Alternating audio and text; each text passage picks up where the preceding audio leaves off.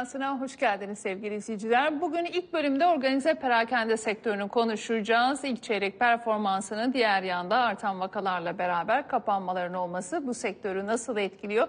Önümüzdeki süreci dinleyeceğiz. Özellikle yüksek oranda iş gücü sağlayan sektörde iş gücüne yönelik alınan önlemler yeterli mi sorularının yanıtını bugün Kategori Mağazacıları Derneği Yönetim Kurulu Başkanı KMB Yönetim Kurulu Başkanı Serhan Tınaztepe'den dinleyeceğiz. Serhan Bey hoş geldiniz diyerek başlamak isterim.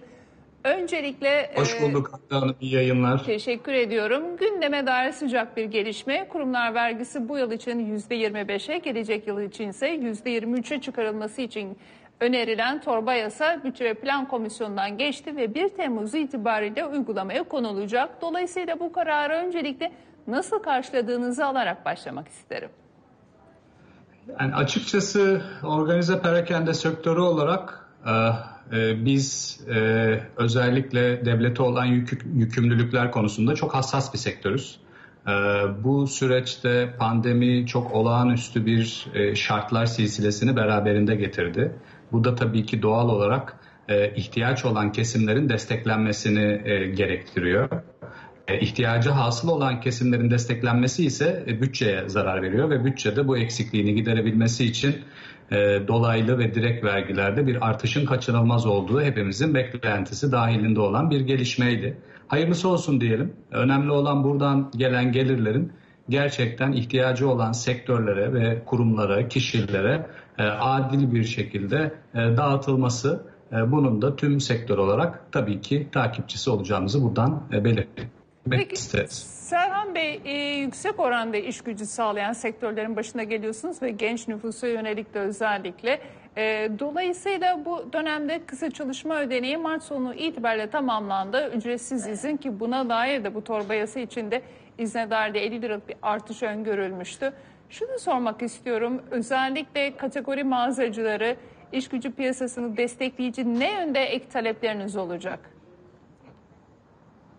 Ee, biz açıkçası e, derneğimiz şu an üyelerinin büyüklüğü itibariyle 320 milyar TL'lik bir ciroyu, 50 e, bin mağazayı ve 300 bin çalışanı temsil ediyor.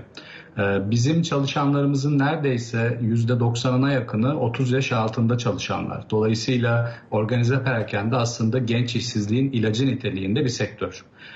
Bu noktada 30 Mart itibariyle biten kısa çalışma e, ödeneği açıkçası hepimizde bir hayal kırıklığı yarattı biz sektör olarak çok güçlü bir şekilde bu kısa çalışma e, uygulamasının hem e, süresinin uzatılması hem de şartlarının biraz daha esnetilmesi konusunda çok güçlü bir talebimiz vardı. E, bu e, iş gücü piyasasını e, maalesef olumsuz etkileyecek bir durum. Yani hem e, istihdamı koruyabilmek hem süreç içerisinde dinamik bir şekilde arttırabilmek e, adına e, biz kısa çalışma ödeneğinin e, yeniden yürürlüğe girmesi süresinin bir süre daha pandeminin etkileri tam olarak ortadan kalkana kadar devam etmesi gerekliliğini düşünüyoruz. Peki bu süreci nasıl yönetecek e, kategori mağazaları? Açıkçası e, biliyorsunuz 1 Mart sonrası risk grubuna göre kontrollü normalleşme dönemine girdik. E, fakat e, açıkçası vaka sayıları bu normalleşme döneminde daha da arttı. Virüsle mücadelemiz sürüyor. Fakat Kasım ayından beri süre gelen bu kısıtlamalar sektörün durumunu tabii gün geçtikçe zorlaştırıyor. Normalleşme adımlarında en önemli beklentimiz tabii hafta sonu hareketliliğiydi. E, fakat e, açıkçası e, Mart ayında da hafta sonu e, hareketliliğinin işlerimize çok fazla yansımadığını gördük. Şimdi tabii e, bu aşamada vaka sayılarının geldiği nokta hepimizde endişe yaratıyor. Ramazan boyunca alınacak önlemlerin tabii bir an önce netleşmesi gerekir. Yani şu anda herkeste bir belirsizlik var. Ramazan'da ne olacak? Tam kapanma mı olacak? Tam kapanmaya yakın bir durum mu söz konusu olacak? Ee, bu noktada eğer bir tam kapanma ya da buna benzer bir önlem seti uygulanacaksa şirketlerin yükümlülüklerinin de durması gerektiğinin altını çizmek isterim. Yani bu çok kritik bir süreç ve etraflıca kurgulanması perakendeciler olarak da en temel beklentimiz. Evet bu süreçte şirketlerin yükümlülükleri de e, durmalıdır diyorsunuz. Pazartesi günü de açıklanması bekleniyor. Bilim Kurulu'nun tavsiyeleri yönelinde Bakanlar Kurulu tarafından e, baktığımızda geçtiğimiz yılında çok daha üzerinde vaka sayıları var. Dolayısıyla şunu da sorayım. Özellikle ilk çeyrekte bu pandemi sürecinde e, kategori mağazacıları gerek cirosal olarak gerek sektörel anlamda nasıl geçirdiniz ve yılın geri kalanına dair mevcut konjonktürde e, hedeflerinizin neresinde tamamlayacaksınız? Yılı nasıl öngörüyorsunuz? Evet, kategori bazlı değişmek suretiyle geçen yılın aynı döneminin %50'lerinde olan kategorilerimiz de var. Ee, geçen yılın aynı döneminin e, yapılan ciroların üstüne çıkan kategoriler de var. E, teknoloji, beyaz eşya, ev geliştirme gibi kategoriler e, cirosal bazda geçen yıl e, elde ettikleri gelirlerin e, bir miktar üzerindeler. Fakat bunlar maalesef e, artışlar çoğunlukla fiyat kaynaklı artışlar. Adet bazlı bir artış göremiyoruz. E, Birçok kategoride ürün ve yarı mamul maliyetleri e, tahminimizin, öngörümüzün çok üstünde yükseldi. E, bunun yanı sıra tabii ithalata dayalı ürünlerde de çok sıkıntı çekiyoruz. Bazı alt kategorilerdeki e, üyelerimiz tedarikçi sorunları yaşamaya başladılar. E, tabii e, pandemiyle ilgili kısıtlamaların üzerine bir de genel ekonomik göstergeler ve dövizdeki dalgalanma da eklenince e, perakende sektörünün büyük bir çoğunluğu şu anda zor günler yaşıyor. E, tabii bundan sonrasını öngörebilmek biraz da e, virüsle mücadele ve aşı e, e, noktasında düğümleniyor gibi görünüyor. Aşılama sürecinin daha da hızlanması, aşılama oranlarının artmasıyla tabii ki sağlıklı günlere kavuşabileceğimizi düşünüyoruz. Bunun da tüketici güvenini olumlu etkileyeceğini düşünüyoruz. Bunun da işlerimize olumlu yansıyacağını düşünüyoruz. Burada tabii vaka sıklığı ve aşılama politikası geleceğe nasıl baktığımızla çok doğru orantılı olarak değişen bir parametre olarak önümüzde duruyor açıkçası. Evet özellikle vaka sayısı ve aşılanmadaki hızlılık sektörün geleceğini belirleyeceği en büyük kriter olacak diyorsunuz diğer tüm sektörlerde olduğu gibi.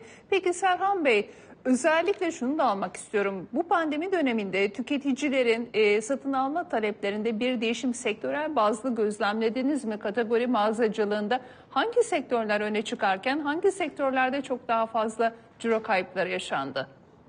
Evet, e, tabii durumu iyi olanlardan kötü olanlara doğru bir sıralama yapacak olursak, e, e işlerini geçen yılın aynı dönemine göre en çok arttıran e, e kategori e-ticaret kategorisi. Ee, biliyorsunuz e, yeni açıklandı veriler. 2020 ee, yılı e-ticaret hacmi 230 milyar TL'ye ulaşmış durumda. Evet. Yani genel ticaret oranı %16'ya ulaştı. Ee, sipariş adeti iki katına çıktı. Burada tabii beyaz eşya kategorisi ve elektronik kategorisi e, neredeyse geçen yılın aynı döneminin iki katına çıkmış durumda. E-ticaretten sonra işlerini e, en çok arttıran kategoriler beyaz eşya, tüketici elektroniği, e, ev geliştirme, mobilya, yapı market e, kategorilerinde oldu. Çünkü insanların evlerde vakit geçirme e, alışkanlıkları arttıkça evle olan ihtiyaçları da gündeme gelmeye başladı. Yine evden çalışma e, uygulamalarının yaygınlaşmasıyla birlikte evdeki bilgisayar sayısı, televizyon sayısı e, artmaya başladı. Bu da tüketici elektroniği tarafını son derece canlı kıldı. E, yine evden çalışma ve evde geçirilen vakit mobilya, ev geliştirme gibi kanalları ve kategorileri büyüttü. Fakat bunun yanı sıra trafiğe dayalı perakende de çok ciddi sıkıntılar var. Yani özellikle erkek giyim, ayakkabı, e, kitap kırtasiye, hobi oyuncak e, gibi kategorilerde e, yine e, nispeten e, kozmetiği de buna ekleyebiliriz. Geçen yılın aynı döneminin e, oldukça altında cirolar e, söz konusu. E, tabii e, bizim kategori e, mağazacılığı derneğimizin bünyesinde olmasalar da e, sektör olarak çok yakın takip ettiğimiz e, yeme içme perakendesi, kafeler, restoranlarda ise durum malumunuz. Onlarda e, gerçekten çok büyük sıkıntılar yaşanıyor. Paket servis yapamayanlar e, şu anda e, yeniden dönüş sürecinde dönüp dönemeyeceğinin muhasebesini yapmakla meşguller. Geneli itibariyle özetleyecek olursak e-ticaret, gıda perakendesi, tüketici elektroniği, beyaz eşya, ev geliştirme tarafı canlı. Onun dışındaki kategoriler ise son derece cansız durumda diyebiliriz. Ve son olarak şunu da sormak istiyorum. Bu süreçte AVM yönetimleriyle e, özellikle kiracılar arasında süreci yönetebiliyor musunuz? Burada E, BMD'nin de talepleri vardı. Ne diyeceksiniz? Evet biliyorsunuz alışveriş merkezlerinde trafik bir hayli düştü. Maalesef perakende sektörünün en önemli paydaşı olarak gördüğümüz alışveriş merkezleri bu süreçte biraz yanlış algının da kurbanı oldular. Yani oysa aldıkları önlemler son derece üst düzey önlemlerdi. Uluslararası örnekler kapsamına girecek önlemler dahi aldılar ve e, biz e, e, cadde mağazalarımızla kıyasladığımızda vaka sıklığının da en az gerçekleştiği yerler oldu AVM'ler. Çünkü hem alınan önlemler hem bizim mağazalarımızda aldığımız önlemler vaka sıklığını son derece azalttı. Bütün bunlara rağmen trafiği düş, trafik düşüşünün önüne geçilemedi maalesef. E, tabii bu süreçte birçok AVM e, çok örnek bir dayanışma ile perakendecilerin yanında durdular. Bizleri desteklediler. Evet. Ancak artık onlar da kaynaklarının bittiklerini belirtiyorlar. Yani birçok alışveriş merkezi indirim oranını bu dönemde azalttı. Hatta birçoğu tam kira e, uygulamaya yani indirimsiz kira uygulamaya başladılar. E, kira ve ortak alan gideri konusunda doğrusunu söylemek gerekirse kalıcı bir çözüme ihtiyacımız var. Yani bu artık kiracı kiralayan ilişkisi arasında çok ciddi erozyon yaratma noktasına geldi.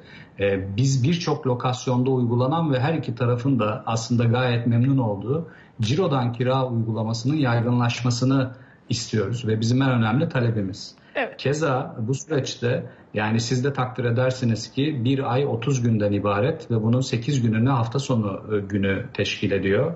E, hafta sonları kapalıyız. Hı hı. 8, 8 gün boyunca kapalıyız ama 30 günlük kira ödüyoruz.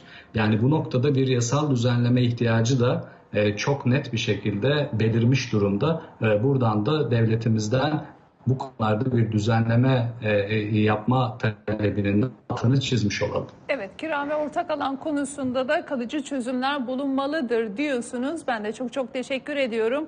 Kategori Mağazacıları Derneği Yönetim Kurulu Başkanı Serhan Tınaztepe'yi uğurladıktan sonra Şimdi de farklı bir sektörü konuşacağız. Bu hafta 7 ila 13 Nisan haftası Dünya Sağlık Haftası olarak kutlanıyor. Ancak bu kutlamayı maalesef sağlıkçılarımız yapamıyorlar. Çünkü maalesef sorumluluklarımızı tam yerine getiremediğimizden dolayı mevcut süreçte artan vaka sayılarıyla uğraşmak durumundalar. Peki sağlık enflasyonu aylık bazda en fazla artış gösteren sektördü. Keza bunu soracağız. Diğer tarafta sosyal güvenlik hizmetlerinin enflasyon oranında güncellenmesini talep eden sektörü bugün OHSAT Başkanı Reşat Bahat'tan dinleyeceğiz. E, Sayın Bahat hoş geldiniz diyerek başlamak isterim. Hoş bulduk. İyi yayınlar Hande. Teşekkür ediyorum. Öncelikle ben de size kolaylıklar diliyorum. Haftanızı kutluyorum ancak siz e, çok yoğunsunuz bu süreçte. İlerleyen dakikalarda alacağım ama Öncelikle Mart ayı enflasyon verisine baktığımızda en fazla aylık artışı gösteren sektördü sağlık sektöründeki enflasyon. Dolayısıyla sağlık giderlerinde hangi konularda bir artış oldu? Aylık %3.70'e ulaştı. Hande Hanım, sağlıkçılar olarak, biz sağlık hizmeti veren kuruluşlar olarak e, giderlerimizin çok önemli bir kısmını maalesef e, dövizle alıyoruz. Sebeple dövizin arttığı faizin arttığı, enflasyonun arttığı ortamlarda maalesef sağlığın maliyeti e, piyasanın üstünde artar. Ayrıca e, sektörümüz piyasanın altında güncelleme yapmaya çok dikkat etti e, yılın ilk 3 ayında. E, bu maliyetleri yansıtmamaya e, çalıştı. Ancak artık e, stoklar bittiğinde maalesef biz ürünleri daha pahalı almaya başladık. E, tabii ki bir, bir sürü maliyetimiz, çalışan maliyetimiz de ciddi arttı artışlar oldu. Bununla birlikte muhtemelen e, ilaç maliyeti çok ciddi arttı. Özellikle tıbbi saat maliyetlerimizde e, özellikle koronadan dolayı çok fazla artış var ve tabii ki yine e, tıbbi cihaz maliyetlerimiz çok fazla arttı. Normalde e, yaptığımız işlerin içindeki e, teknolojinin payı COVID'den dolayı çok yüksek. Çok yüksek teknoloji kullanımı. Bu da muhtemelen ülkelerimizin belki de fazla artmasında etkili oldu diyebiliriz. Peki Sayın Bahat COVID sayılarına baktığımız zaman maalesef gerek hasta gerek vefat sayılarında e, birinci dalganın da üzerine çıkmış bulunuyoruz. Kimi tedbirler alındı ancak yeterli olmadığını görüyoruz salgın yönetiminde. Dolayısıyla özellikle bu noktada hastaneler e, kuşkusuz diğer işlemlerini, hastaların diğer işlemlerini yapmada da aksamalar oluyor mu? Bu süreci nasıl yönetiyorsunuz? Sağlık sistemi artan vakaları daha ne kadar daha taşıyabilir? Yine sağlık sistemi artık oldukça yorgun. Yani e, yaklaşık 10, 14 aydır bu pandemiyle mücadele ediyor çalışanlarımız. Kamuda ya da özelde, üniversitede olsun fark etmez. E, gerçekten üçüncü dalgada do- yoğunluklarımız e, maksimize olmaya başladı. Yani yüzde doksanlara vardı. Tabii ki siz oradaki yoğun bakım doluluklarının yüzde 65 olduğuna çok bakmayın. Çünkü yoğun bakımlarda yüzde yüz doluluk diye bir şey yoktur zaten. Yoğun bakım derken genellikle e, çocuk yoğun bakımlar, erişkin yoğun bakımlarda bunun içindir. E, koroner yoğun bakımlarda, yoğun bakımları ayrıca COVID için ayıramazsınız. Başka hastalıklar var, trafik kazaları var, kalp hastalıkları var, bir sürü alerjiler var, bir sürü yoğun bakım kullanmamızı gerektiren postop hastalar var, yerler var. Bunu kullanamayız doğal olarak. Vatandaşın çok sorumlu davranması gerekiyor hükümet doğal olarak hayatı tamamen durdurmamak için e, yani bir şekilde hareketli olmamıza müsaade etti ama bu hareketli olmamıza müsaade etmemiz normalleştiğimiz e, anlamına gelmesin. Bazıları bunu bu şekilde anladı. Çok sıkıldıklarını tahmin ediyorum ama sevdiklerini kaybedecekler. Üstelik bu sefer sev, e, genç sevdiklerini kaybedecekler. Çünkü yaşlıların aşılı olması sebebiyle 65 e, yaş hastalarda, kişilerde hasta sayısında anlamlı düşme var aşılandıkları için. Ve ölüm oranlarında da anlamlı düşme var. Ama 60 yaş, 65 yaş altında maalesef hastalık yoğunlaştı. Daha hızlı bulaşıyor. Büyük. Bu şekilde bir hafta 10 günden daha fazla gidilebileceğini düşünmüyorum. Yani tam, tam kapanma gelecek gibi gözüküyor. Eğer sorumlu davranmazsak. Evet, e, bu şekilde bir haftadan daha uzun gitmez. Sağlık sistemi bunu taşıyamaz. Tam kapanma gelmezse diyorsunuz. Bu çok önemli uyarıyı yapıyorsunuz.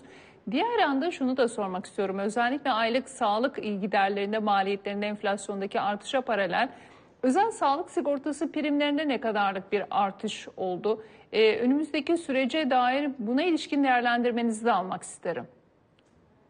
Ee, özel sağlık sigortaları e, ortalama benim gördüğüm %30 civarında e, güncelleme yaptılar fiyatlarına.